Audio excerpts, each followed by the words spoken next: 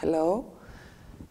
My role, as you know, is uh, director of uh, the Institute of Applied Art and Design, IAAD, and I am honored to announce to that uh, this institute uh, is accredited uh, by the Italian law as university.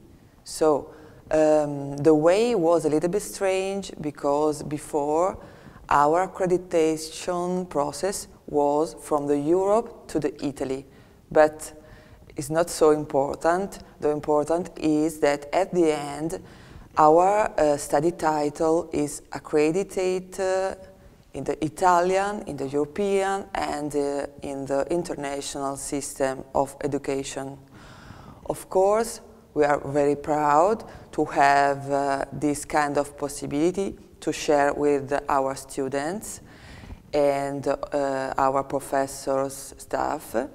And in the future, we will have also more information regarding the study program in the past.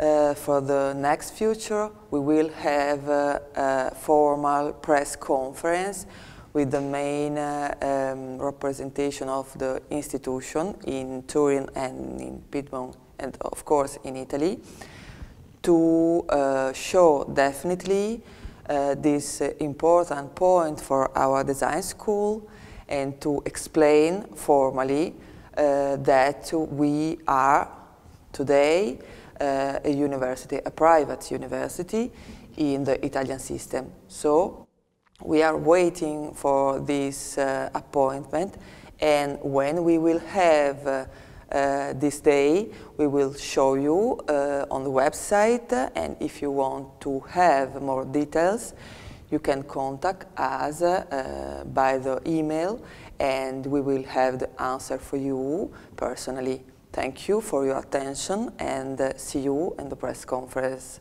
Bye.